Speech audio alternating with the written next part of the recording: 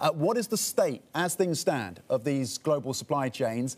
Why are there still problems? It's been a long time since the pandemic started. How have the shipping companies not been able to meet this demand? Right. It remains a real mess. We saw uh, a lot of congestion uh, earlier this year uh, at, at, various ports and, and, and uh, trying to feed into economies in the U.S. and in Europe. And we're seeing it flare up yet again. The latest count outside the port of Los Angeles has 61 ships waiting to, uh, waiting to enter uh, the terminals there. That's 61 container ships full with you know, tens of thousands of, of, of goods trying to get into the U.S.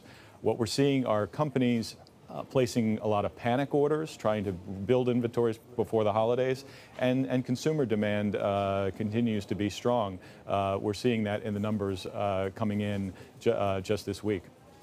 And Brendan, good morning. How are companies navigating these difficulties? I mean, some of them are just just having to live with it, I suppose. If your if your goods are stuck on one of those 61 uh, container ships, that, is there much you can do?